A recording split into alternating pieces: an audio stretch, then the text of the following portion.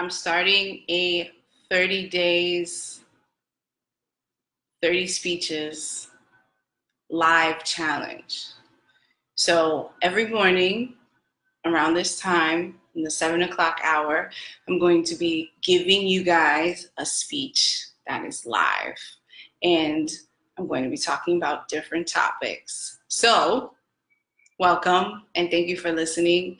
I'd love for you to give me your feedback, your honest feedback, a rating from one to 10 on one being not so good, 10 being amazing, on how you thought my speech performance was, and any feedback you have um, in terms of what you really liked and what you'd like to see improve. And that would be really helpful for me. And at the end of each speech, I'm going to have a call to action, something that I'm asking you as the audience to do. And I would love for you to participate by either leaving me a comment, sending me a DM or a private message, um, or an email. And my email address is I am Junie Marz, J U N I E M A R Z, at gmail.com. So this is my first speech. Here we go. For me, the most challenging part is gathering up the courage to be able to make the leap. Some things you just won't know. You have to have faith and trust that no matter what happens, you will be okay. Step out on faith. These are words of wisdom from my amazing and super talented best friend, Michelle. She made a decision while she was working in the finance industry that even though it made her a ton of money, it just wasn't fulfilling enough for her. She wasn't happy.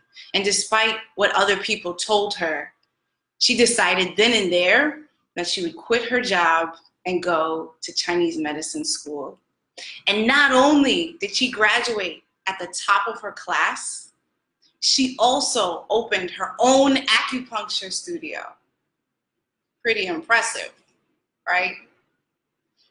Michelle shared with me that even though she's had a lot of success in her business, when she thinks about taking her life to the next level, fear starts to set in and hold her back and keep her right where she is. How many of you can identify with Michelle's story? I certainly can. The truth is, fear is a natural part of our human psyches. It will always be there. It's built into our subconscious minds to help us to survive and to keep us safe. In fact, one in every 14 people is affected by a fear related disorder. But despite all that, despite the fact that fear will be there anyway, this is your life. And you're the only one who is responsible for changing it. So make the decision to take charge of your life and change it. Changing your life requires you to take full responsibility for everything that's happened to you up until that, this point. Meaning, you're not going to blame anyone, any circumstance, any situation outside of yourself for the way that your life has panned out. And taking responsibility of your life means taking ownership. Now, is what I'm asking you to do easy? No, definitely not. It's not easy to take ownership of your life and take responsibility for everything that's happened to you. Of course not. But taking ownership of your life is owning your power. And owning your power, owning every ounce of who you are, that requires one thing. And that one thing, that one thing is love, self love. A journey for many of us that is challenging, tumultuous, and just plain rough. I certainly know that. It certainly has been a rough journey for me. This year, actually marks the 10th anniversary of when I nearly drank myself to death on purpose. It was New Year's Eve of 2008. I was getting ready for an amazing night out with my best friend, and I was pre gaming and drinking, and I was drinking while I got to the party all the way through. And you know, drinking was something that I was proud of because I was known amongst my friends as the one who could hold my liquor. You know, I never got sick, I never threw up, nothing ever happened to me. I was untouchable when it came to alcohol. And I was proud of that. But that night, everything changed. Everything stopped. And I couldn't remember where I was or who I came with.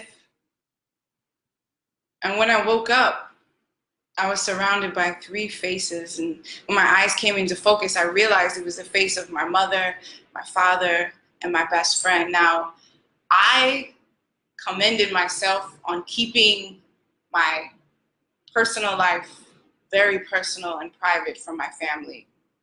I didn't want them to know about my drinking I wanted them to have the image that they held of me as one that was a teacher, a good student, a successful person. That's who I wanted them to remember me as. But when I woke up and I saw that the three faces were my mother and my father and my best friend, I freaked out and I looked at my best friend like, what is happening? Why are my parents here? And she looked at me and she leaned in and she said, I'm sorry, Julia. I didn't know what else to do. I, I got scared. I had to call your parents. It took nearly four EMTs, apparently, to carry my body to the ambulance. She told me I was unconscious, incoherent, dead weight. When I looked around, at my surroundings, looking at my mom and my dad and my best friend, I realized that I was in the emergency room in a hospital bed. Even though that was 10 years ago, every time I think about it, it still eats away at me because it was so embarrassing. So embarrassing.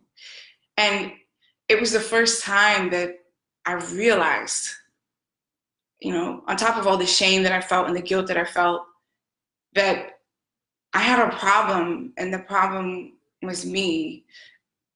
I realized for the first time that I didn't love myself. I didn't care what happened to me that night. I could have just died and I didn't care because I was so numb to pain because I had been spending my entire life trying to meet expectations of others. That I was so unhappy. I didn't know what else to do but drink. Drinking became my solace. It became something that I could do to numb myself from the pain and feel happy. Tony Robbins says that our lives don't happen to us, they happen for us. And waking up in the emergency room in the hospital that night was my life happening for me. It was a wake up call for me. It was saying, girl, are you going to live your life or are you going to let yourself perish and die? I had to really dig deep because I chose to live, which meant I had to face a lot of the demons. I had to face a lot of my fears. I had to face a lot of things that were scary for me, that hurt me.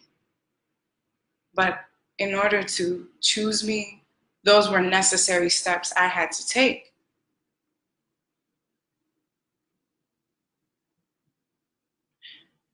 Since then, I've lost 55 pounds. I've left my job as a teacher. I've started my own business. I've created my own podcast. I've written a book and I've created a blog. I discovered that fear wasn't going to win.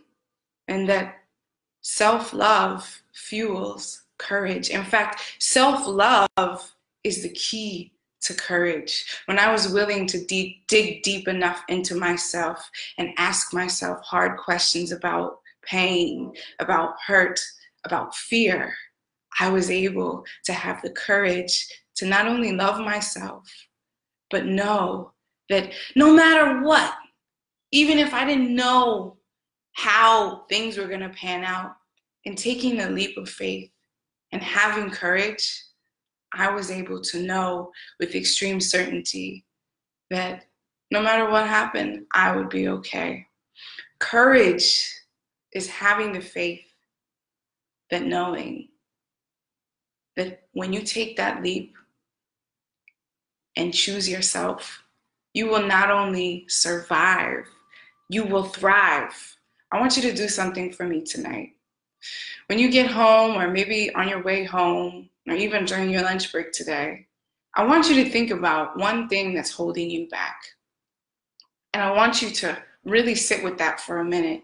And then next to that thing, I want you to write down one thing that you can do this week, even today, to start to face that thing that's holding you back and change it for the better. Then I want you to send me an email at iamjuniemarz at gmail.com. Send me a private message or a DM, or write in the comments if you're bold enough on what you decided you were going to tackle and how you decided you were going to change it. You can change your life. It all starts with you. This is a new month with new blessings. Happy November. Have a beautiful, amazing day.